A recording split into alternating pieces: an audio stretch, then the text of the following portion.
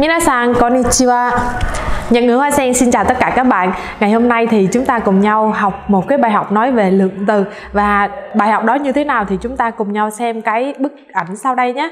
À trên màn hình đây thì là một cậu bé đúng không? Bạn, cậu bé này đang đang ngồi viết và viết năm chữ hán tự trên màn hình chúng ta thấy là cái gì năm chữ hán tự và mỗi ngày cậu bé đó đều viết năm chữ hán tự như vậy thì chúng ta có câu là gì một 毎日漢字を5つずつ書き練習しています。書き練習しています。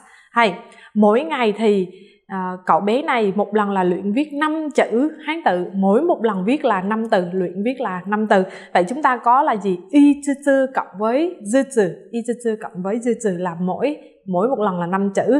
Và cấu trúc ngữ pháp này thì chúng ta sẽ có là gì đây? À, lượng từ cộng với dư trừ tức là trước dư trừ sẽ luôn luôn là một lượng từ. Ý nghĩa của nó sẽ là mỗi mỗi một cái gì đó hay. Cách dùng là dùng sau cái từ chỉ số lượng và biểu thị cho ý nghĩa là à, chia đều cho cái số lượng đó hoặc là à, lặp đi lặp lại hầu như là cùng một cái số lượng nha các bạn. Và chúng ta cùng nhau xem cái ví dụ sau đây để chúng ta hiểu rõ hơn về cái dư trừ cộng với à, lượng từ cộng với dư trừ nhé. Trên màn hình này là một cô bé đúng không? Cô bé đang phát giấy tờ gì đó phải không các bạn?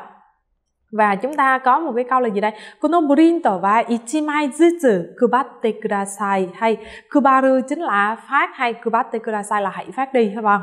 Là người ta nói với cái cô bé này đây ờ, ờ, như thế nào đây? À hãy phát cái tài liệu này cho mỗi một người là một tờ, mỗi một người là một tờ ichimai zutsu mỗi người là một tờ nhé. Hay và tương tự như vậy thì chúng ta có một cái bức tranh nói gì đây? À các em nhìn lên màn hình là các em thấy có sự đặc biệt rồi đúng không? À đúng rồi, có bốn người nam và bốn người nữ. Vậy thì chúng ta nói, muốn nói cái câu này là à cái group này thì có bốn người con trai và bốn người con gái thì các bạn sẽ nói như thế nào?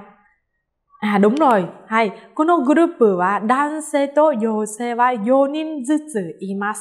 Yonin zutsu imasu. Hay, cái lượng từ lặp đi lặp lại. Ừ. hoặc là cái gì đây cái số lượng biểu thị số lượng lặp đi lặp lại hoặc là chia đều có nghĩa là gì đây? Bốn người nam và bốn người nữ. Vậy nên chúng ta có cấu trúc ngữ pháp là lượng từ cộng với dư trừ. Và qua bài học ngày hôm nay thì các em đã nắm rõ về cái dư trừ rồi, phải không ạ? Và cô có để đường link bài tập ở bên dưới để các em củng cố cũng như là làm bài tập thêm để hiểu rõ về cái cấu trúc ngữ pháp này.